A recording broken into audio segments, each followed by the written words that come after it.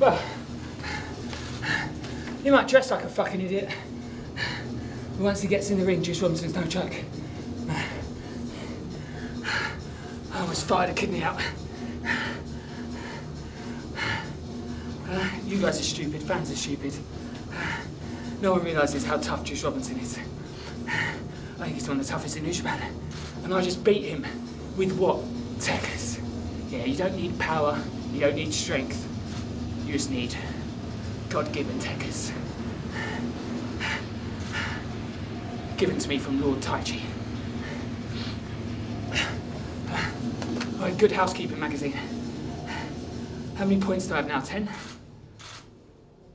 Imawa? Ten. What about Captain Dickhead Nice? How many points does he have? Does he have ten or eight? Can I still reach the finals? I need some crazy end of day statistics. Well, I hope. Who's, who can still who can still reach the finals? Naito, EVIL. Is that it? And me? Can I read? Ah. I probably need Naito to lose what two matches. Who knows? You know what? I hope everyone in B block eats undercooked chicken and gets diarrhea, and they all forfeit, and then I reach the finals.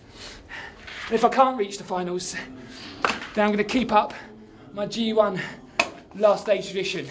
Uh, might not be able to reach the finals, but I ruin it for whoever I have on the last day. And who do I have on the last day this time? Oh, Tanahashi. Oh, what a treat that's going to be.